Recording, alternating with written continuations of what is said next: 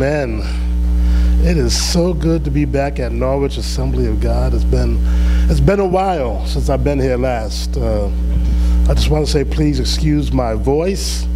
Uh, I was it's that season where it gets hot and cold and allergens and everything, but how many know God's going to bring us through it? Amen. Amen. So it has been a while.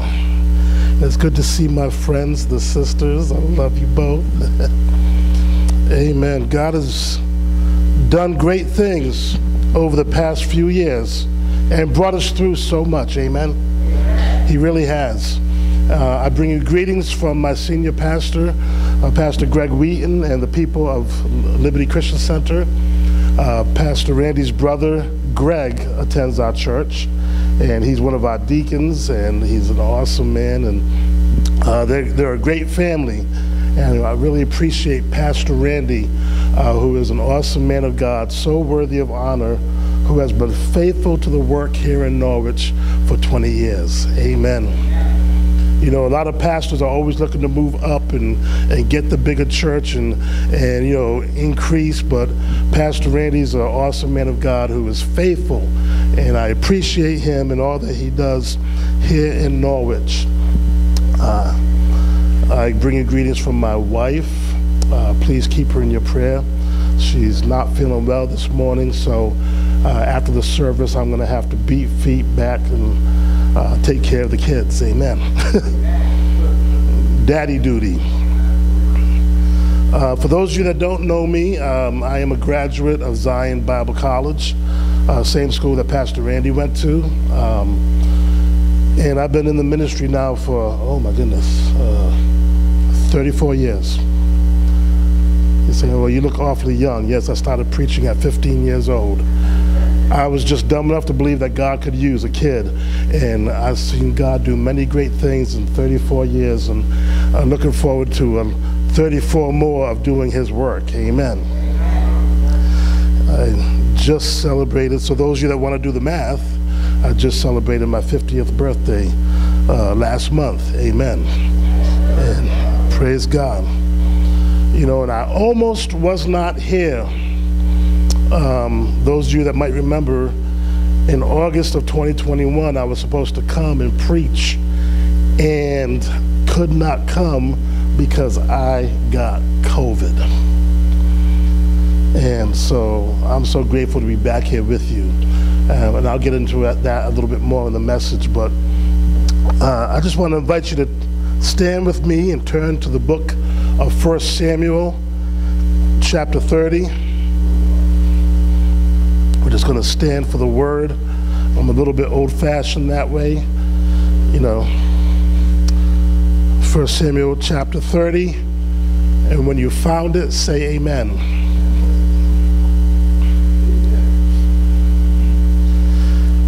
And it came to pass when David and his men were come to Ziklag on the third day, that the Amalekites had invaded the south and Ziklag and smitten Ziklag and burned it with fire, and had taken the women captive there within.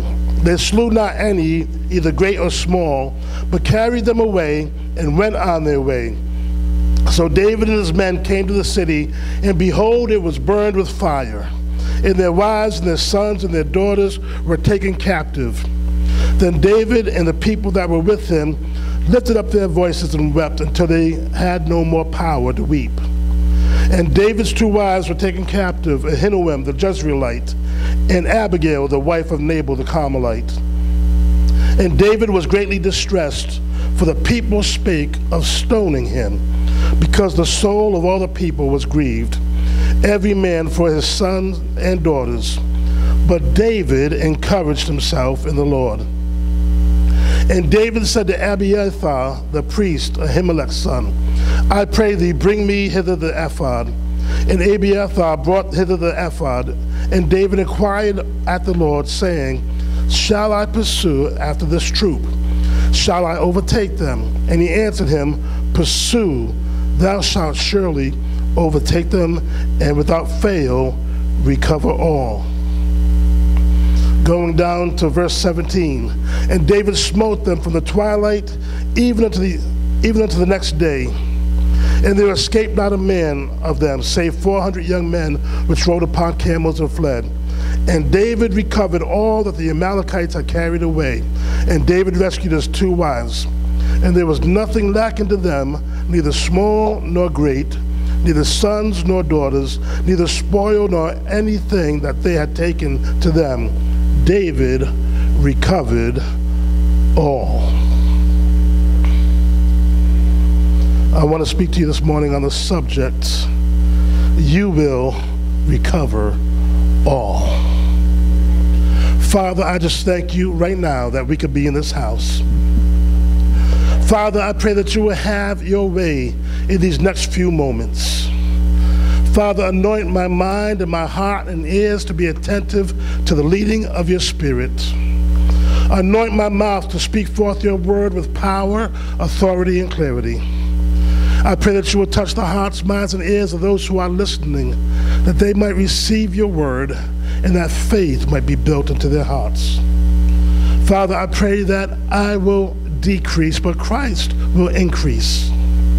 Father, I pray that you will just be glorified in all that we say or do, that the church would be edified, and that the devil would be horrified. And we pray this all in Jesus' name. And everybody said, Amen and amen. Amen. You may be seated. One of the biggest things that we deal with in life is loss. Let's just be honest. We deal with loss all the time. You know, my beloved wife often loses her keys. Amen honey, have you seen my keys? I can't find them. And they'll be somewhere obscure, like up in the kitchen cupboard or something. And, you know, when you look at your paycheck and see what the government took, you know all about loss. Amen. We deal with, we, we lose relationships, we lose money, we lose time, we lose energy, we lose strength. We deal constantly with the concept of loss. Amen.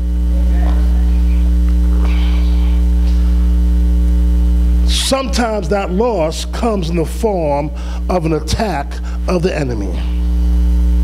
How many know the devil is busy? Jesus said the thief comes to steal, to kill, and destroy, but I have come that you might have life and that you might have it more abundantly. The enemy's always trying to steal from you. He tries to steal your peace. He tries to steal your joy. He tries to steal your, your, your, salvation. He tries to steal your health. He is busy trying to steal from you. Attack after attack after attack to try and steal what God is doing in your life.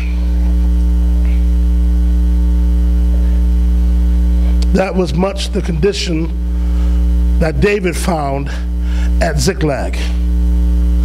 David had been off with the Philistines, preparing to fight a war with them. When they told him they did not need his help, they did not trust him, he returned to Ziklag only to find loss. The Bible says after a three day march with his troops, he came to Ziklag to find Ziklag burned, and every man, every woman, every child, every possession or cattle or sheep, everything was gone. He lost everything.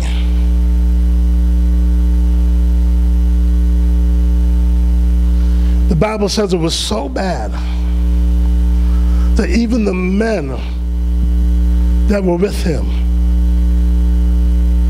he went as far as losing their support because they were talking about stoning him. I want you to understand this. These guys had stuck by David through thick and thin.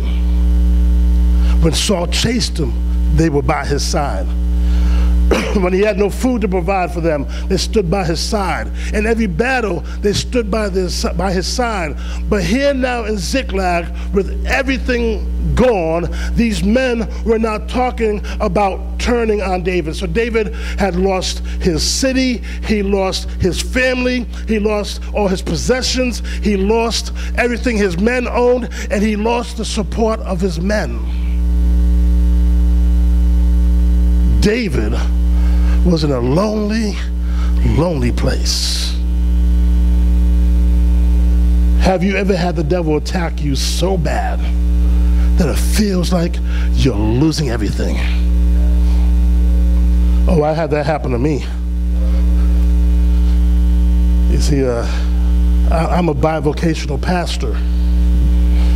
I work part time for the church. I work full time for the federal government right here in Norwich. I'm down here every day, Monday through Friday, downtown on Cliff Street. I work for the VA. So when COVID was happening in 2021, it was mandated we had to get a shot. Me being the person that I am, I said, I'm waiting six months. I want to make sure nobody's eye falls out or nothing. You know, I just, I, I want to make, you know, you know, you know what I'm saying. You know, I don't know about this stuff. So I waited six months. Nobody's arm was falling off. Nobody's eyes were popping out. I said, okay, I'm going to get it now. Now, they tell you don't get the shot if you have COVID in your system, and there's a reason for that because it's very dangerous for your body to fight the vaccine and the sickness at the same time. It's an important part of that story. After work, I went to the FEMA center near my house, rolled up my sleeves, and give me the Johnson Johnson, one and done. I'm not taking a second one. I got it, went home, walked in the door, saw my youngest there. I said, hey, Austin, how you doing? Daddy loves you.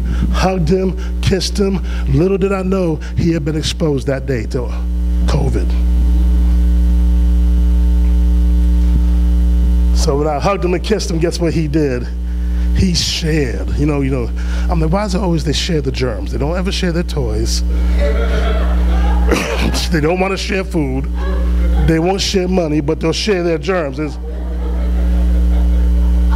hugged him, kissed him, boom, COVID. So I have the vaccine and COVID in my system.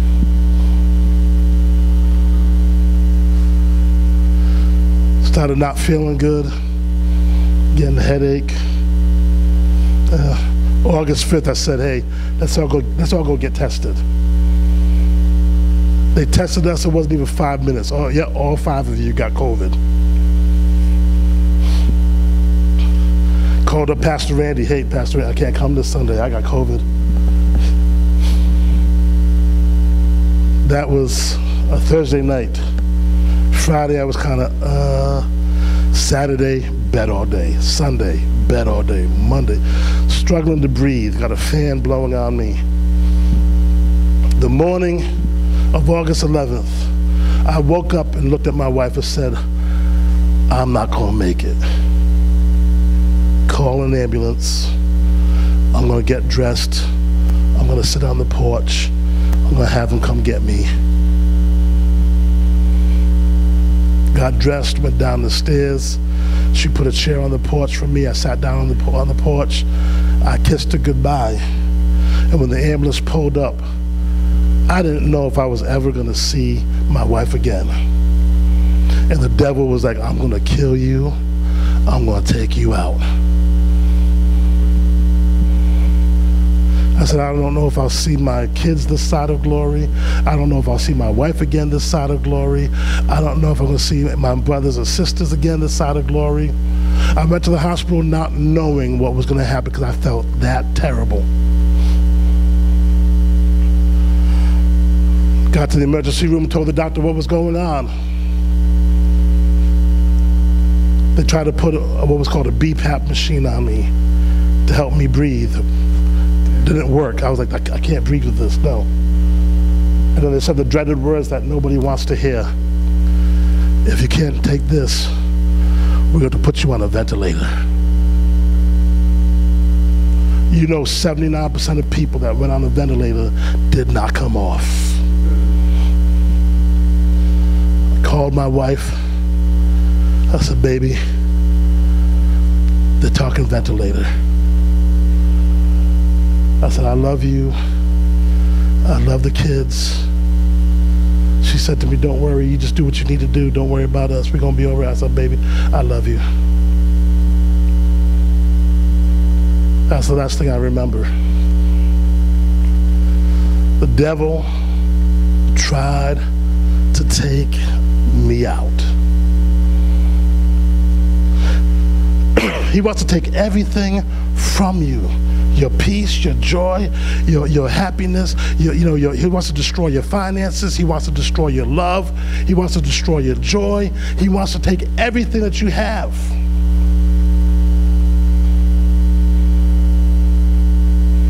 I remember quoting the psalmist as they were wheeling me up to the ICU. I shall not die but live and declare the works of the Lord. I was ready to go if he's going to take me, but I was like, I shall not die but live. Thy will be done. David lost everything. I felt like I was losing everything. My health was shot. I didn't know if I was going to see my family again. I kind of know how David felt alone in loss, not sure what the future was going to hold.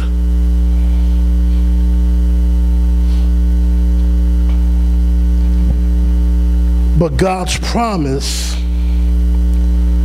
is true. He's come to give you life and life more abundantly. you will recover all. That's my message to you this morning. You will recover all. Well, Pastor Derek, how do we recover all? I'm so glad you asked me. Let me tell you how. Number one, you just got to praise. You just got to praise God. So let me tell you,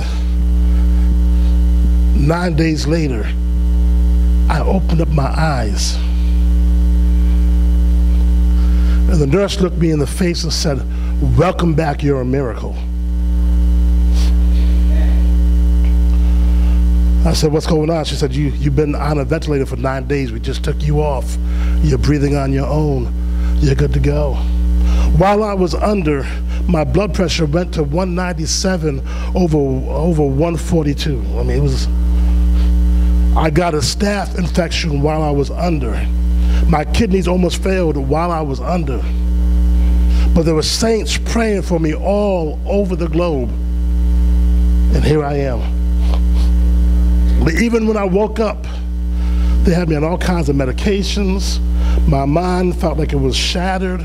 I could hardly think straight. I, I, was so weak. I was so sick. And the enemy kept on saying, I'm still going to take you out. You're still not going to make it out of this hospital. You're still not going to do it. You're, you're going to be goner. I got you. You're mine. I just kept on saying, I shall not die but live and declare the works of the Lord. Amen. The anxiety was so strong. But you know what got me over? I started praising God. See, my sister, when people could come visit me, brought me some headphones. And she said, Derek, why don't you just listen to some worship music when you feel anxious? And I did not put on, you know, you know, you are Jireh. I didn't put, on, I, I love Jireh, but I didn't put on Jireh. I put on shout music. You know shout music. I got a feeling everything's gonna be all right. Whoa, I couldn't even walk yet, but I'm dancing in my bed. So you got to praise God. You got to praise God in the midst of everything going wrong. You need to praise God. the Bible says, listen to these words. Chapter verse 6 And David was greatly distressed. Beloved, you will be distressed, yes. You will feel the anxiety. You will feel the heartache. You will feel the confusion. But in the midst of that, it says, But David encouraged himself in the Lord. Amen. Oh, come on. David encouraged himself. See, David went back and thought about all the things that God had done for him. Come on. Oh, I've lost my wife, but God had Samuel anoint me and tell me I'm going to become king. I'm called. And, and yes, I've lost my children, but you know what? Uh, God helped me overcome Goliath, and He can help me overcome this. Thank you, God, for giving me victory against Goliath. And there's that time that God helped me with with a thousand Philistines, where I was able to conquer them and, and get a wife as a result of it. And there's that time that God blessed me and kept me from Saul and God and God and God. See, beloved, when everything is going wrong, you need to remember what God did and begin to praise Him for what He did in your life.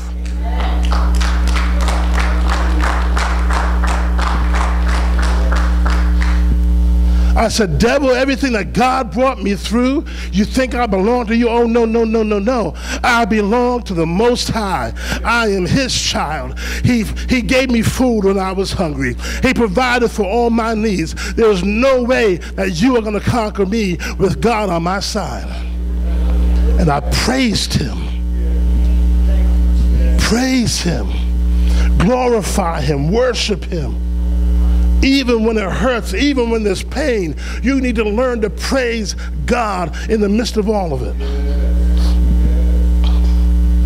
I remember when I was in Bible school, I had a professor who did not like me. I don't know what I ever did to him. I don't. I try and be nice to everybody. You know, I don't know why he didn't like me. There's something about me he just did not like. And I would go to a chapel service and God would move beautifully and it'd be wonderful. And I'd be coming out, you know, and I'd have my tie undone like this and walk into the walk into the lunch hall, you know, and he'd see me just, just want to pick on something. Why is your tie loose? Your tie's supposed to be.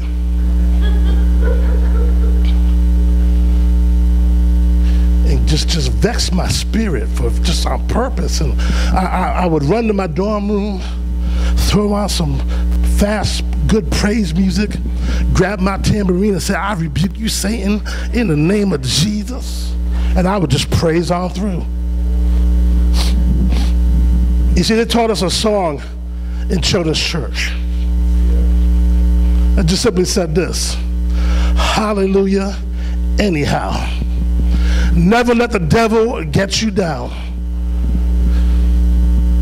When trouble comes your way, lift your hands up high and say, Hallelujah, anyhow. That means when you get a report and the doctor tells you it's cancer, hallelujah, anyhow. When they're saying they're going to foreclose on your home, hallelujah, anyhow. When they tell you they're going to cut off your lights, hallelujah, anyhow. When your children get arrested for the fifth time, hallelujah, anyhow. Praise Him. Praise Him. Because praise is the beginning of the victory. Pastor Derek, how do you know that? I'm glad you asked. Because when Jehoshaphat had to go out to battle, they put the musicians and the worshipers in the front. Come on, somebody. And as they came out singing the songs of Zion, God was fighting their battle. Come on, somebody. At Jericho, they shouted a shout of praise unto the Lord Most High, and the walls came down. Praise is the beginning of victory. And if you need victory, if you need to recover it, you need to stop praising God for it. Come on. Praise. There's nothing like a good hallelujah. Nothing like a good yes, Jesus. hold yourself and just rock and moan. Come on. Sometimes you just, mm, yes, Lord. That's what my grandmother used to do.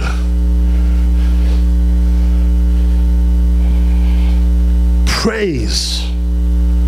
David encouraged himself. You see, because when you start when you start remembering all that God had done for you and you start praising Him for it, you get your mind off of the things that you think are impossible. Come on. He encouraged himself. Secondly, pray. Pray.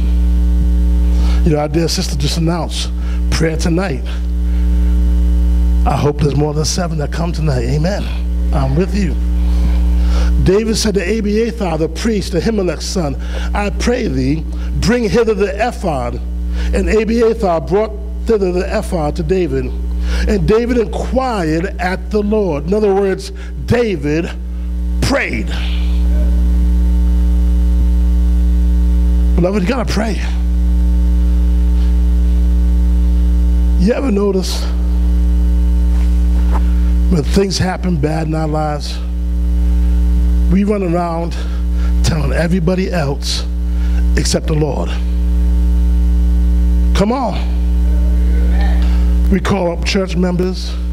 We call family. Oh, you won't believe what's happening to me. You won't believe what I'm going through. Oh my goodness. Oh, oh pray for me. And pray. but the whole time you're not praying for yourself. Come on. Amen. Ouch running around telling everybody about everything. The old hymn says, I must tell Jesus all of my troubles. I cannot bear these burdens alone. Come on, somebody. We need to pray. Prayer changes things.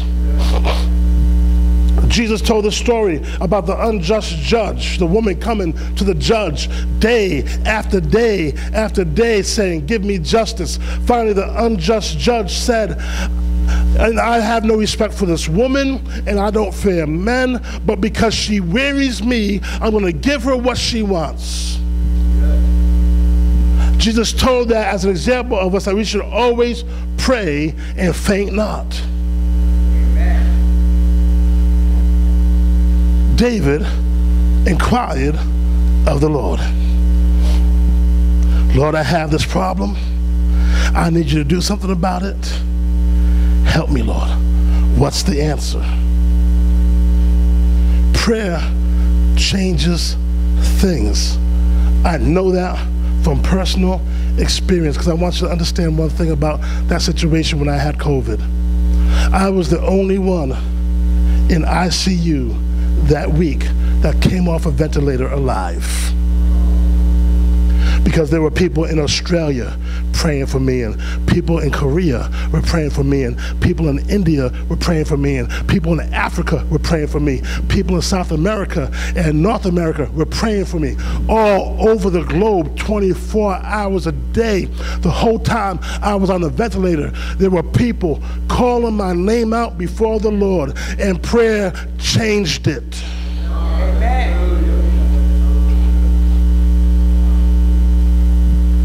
Prayer works. All you got to do is pray. Get down on your knees and begin to talk to the Lord because God hears all and He sees all.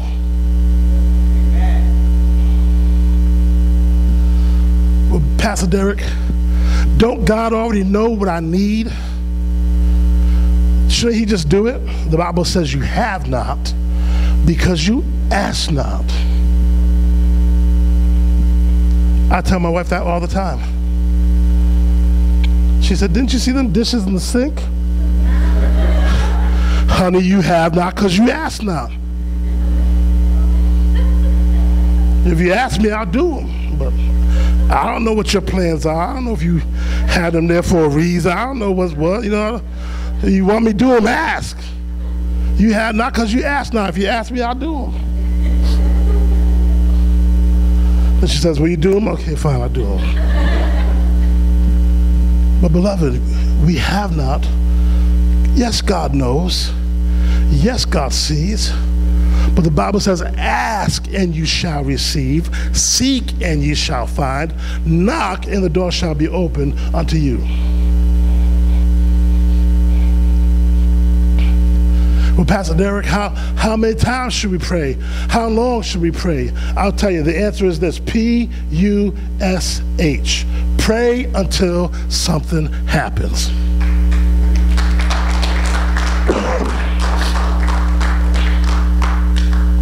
Pray until you get an answer.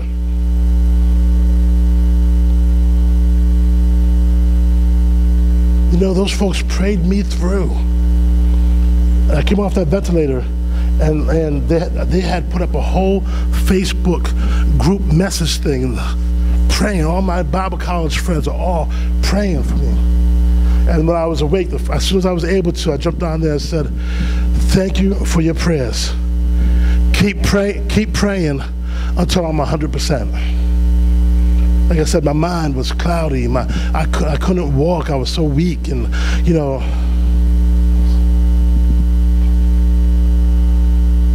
but as I began to praise God and as I began to pray, I gained strength. I got stronger. Hallelujah. My mind cleared up. Pray prayer makes the difference. My grandmother, she just passed away last year at 100 years old. Wonderful saint of God.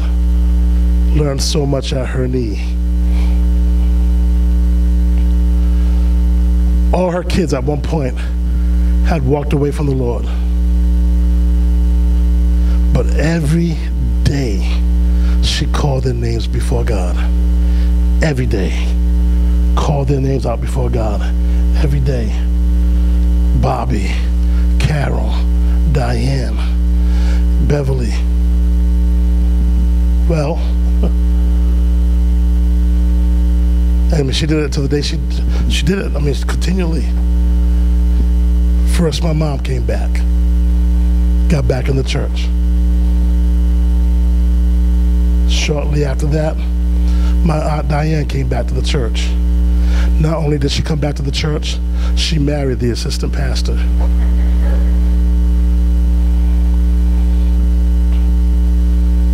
The younger two held out. Oh, they held out.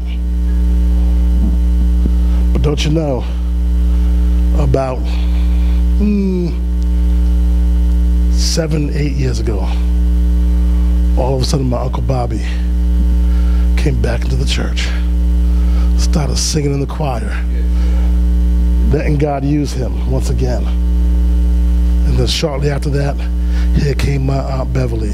My grandmother was in her 90s, but all her kids were finally back in the house of God because she never stopped praying. Amen. Pray, beloved, pray. It works. Not only that, but God will give you guidance about what you're to do. See, if we try and if we try to solve it on our own, come on, somebody, we're gonna mess up. We're gonna mess up. Pray that God give you the answer. See, we do it the opposite way. We come up with the answer and then we say, Oh God, bless this. Blessed Jesus. No, no.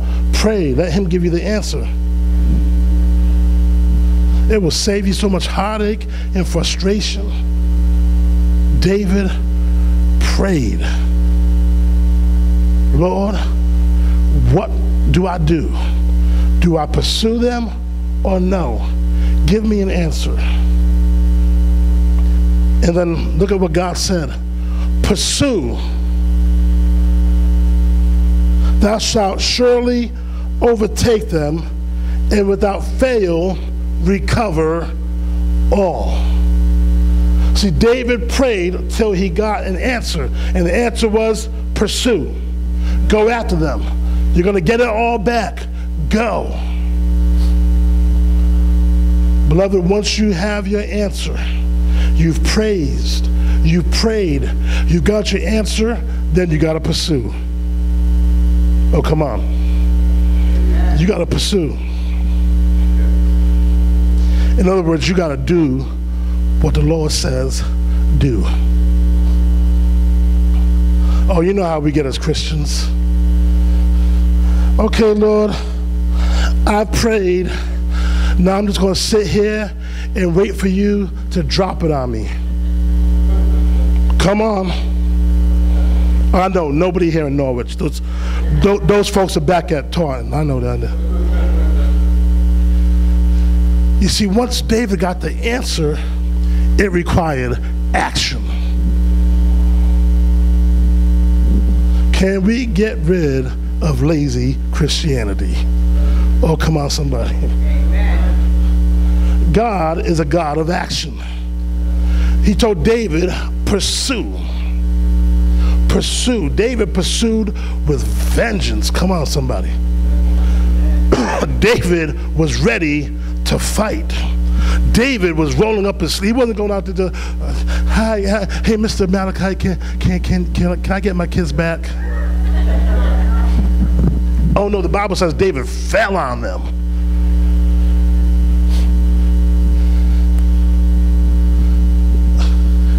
Did you get your deliverance yet? No, no. But I, I asked the Lord, and you know, and he he gonna give it to me. You know, when he when he ready to, you know, he'll he'll do it.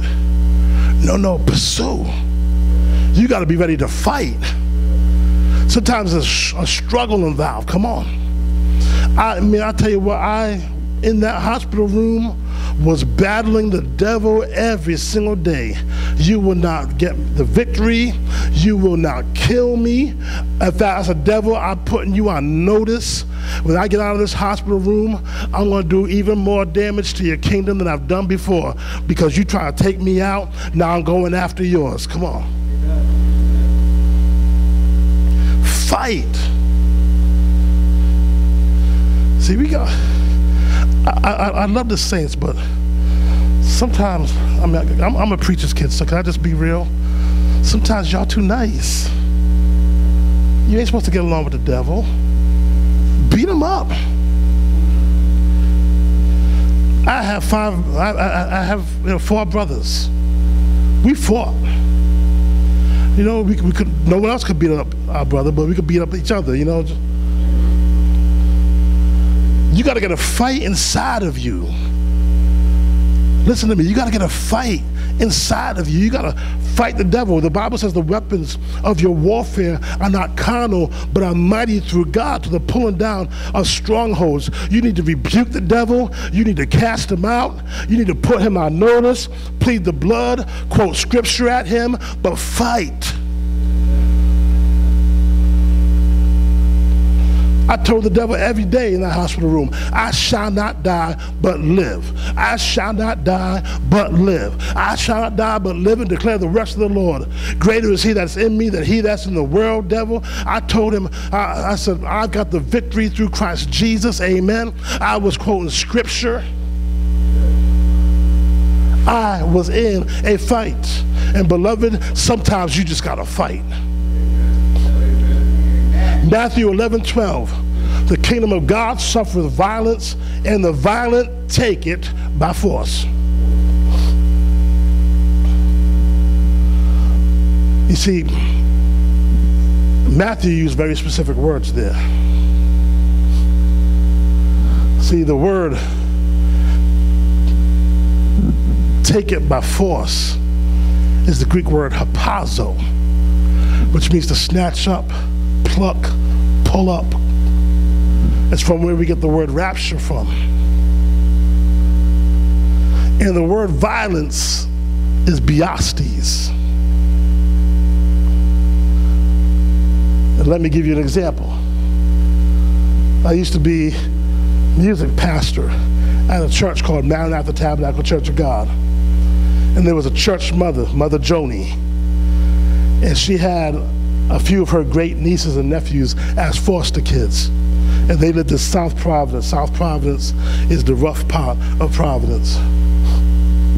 and, and, they lived in South Providence. So these kids, you know, they they were in the house of God, but you know, they was they was just in. You know what I mean? They was they just in, but not quite in in. And one day, Mother Joni was supposed to lead prayer, and she was at the pulpit, and she looked up said, "Lord Jesus." And everybody looked because we knew one of the kids was acting up in church. And sure enough, this one little girl named Andrea was acting up and not, not paying attention. Mother Joni said, Excuse me, and came off the pulpit. Walked down the aisle and she harpazoed Andrea out to sea. And then Beasties.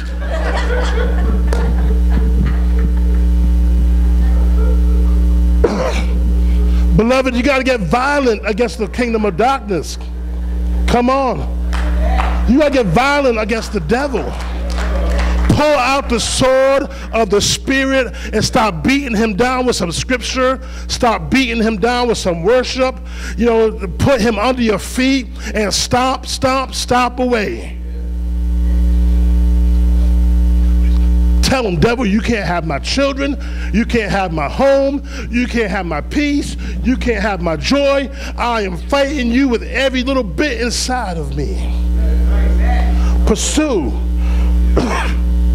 Pursue. Go after it.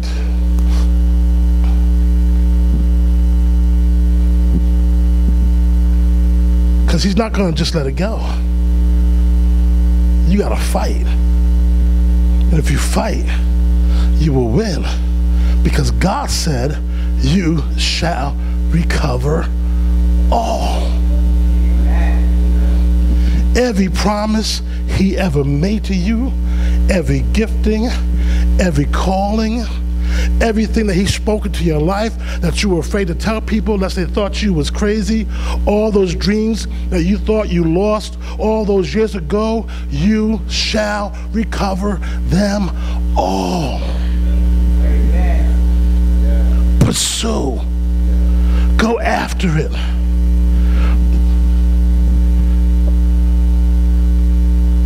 David recovered all nothing Nothing. Not one child was lost. Not one sheep. Not one hair on anybody's head was gone. Every man, every woman, every child, all the cattle. Not only that, but beloved, read what the Bible says. He got even more than what they took. Oh, come on, somebody. Oh, he got. Let me tell you this part of my story. I had just gotten that government job down here in Norwich only a few months before I got sick. I thought to myself, ugh, dig old job. You know, I was under, I couldn't find no paperwork, I couldn't do nothing, so there's no FMLA, and uh, I, I done lost my job. they told me, while you were under, so and so and so and so went to bat for you. They contacted HR. HR told them, oh, well, he's not a, he's not awake. He can't sign the FMLA paperwork. They said, just do it. Just do it. He's on a ventilator. Just do it. They said, do you promise he'll sign it when he wakes up? They said, yes, just do it. They said, look, if you don't sign the paperwork, it's your job. They said, just do it. So they instituted FMLA to protect my job. Not only that, but they also enacted this other thing that they had at that time called emergency paid leave. See, Pastor Derek didn't have the sick time built up yet. But how many know God knew my family needed to eat? So they enacted emergency paid leave. So my pay still continued even though I wasn't at work. Amen.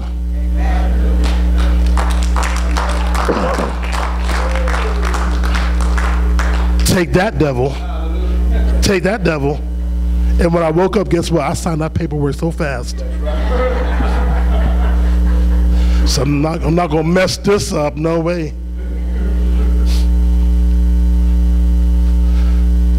God started giving me favor on the job. Favor upon favor. After nine months of being on the job, and I had been out for two months due to COVID, they came to me and said, "You know, you're doing so good. We put a new we put a new office manager down in New Haven. We want you to train them." I said, I, I, I'm I missed two months now. I'm only been nine months on the job and missed two months. You want? Oh yeah, you go ahead. Train that person. Next thing you know, we want you to serve on interview panels. We want you to do this. Can you help us with this? Can you train that one? I'm about to go for a promotion. Interview tomorrow. The, the devil tried to take it all away, but God told me to pursue. Come on, somebody.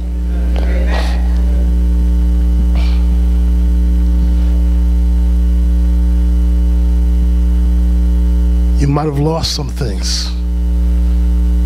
But God's word to you this morning is this you shall recover all.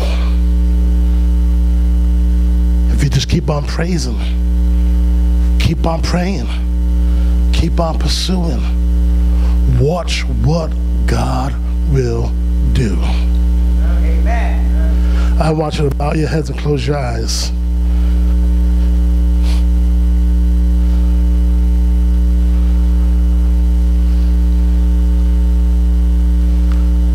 Shall recover all. You're here this morning and you say, Pastor Derek, I've gone through some pain, some trials, some struggles. I've been through battles. I've got scars from the battle.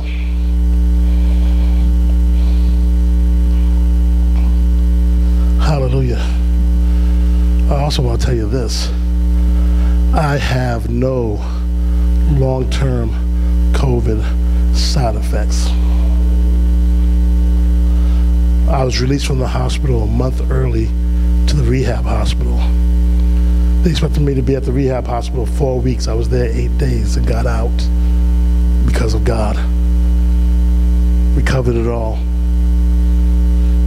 You're saying I've been through battles, I've been through trials, I got I got scars, I got I've lost had loss after loss after loss. But I want to believe God for his promise. I want to believe God to recover it all. I'm going to recover my children. I'm going to recover my health. I'm going to recover my calling. I'm going to recover my blessings. I'm going to recover what the devil has stolen from me. I'm going to believe God. I'm going to praise. I'm going to pray. I'm going to pursue. If that's you this morning, with every head bowed and every eye closed, just raise your hand and say, Pray for me, Pastor. Yes, yes, yes, yes, yes, yes. Yes. Praise God. Praise God. Praise God. Hallelujah.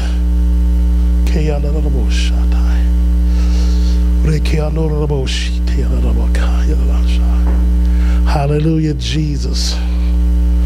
Father, right now, you see every single hand that went up. Father, they're believing your word this morning that they will recover all. Father, first of all, I pray that you will put a song of praise on their lips.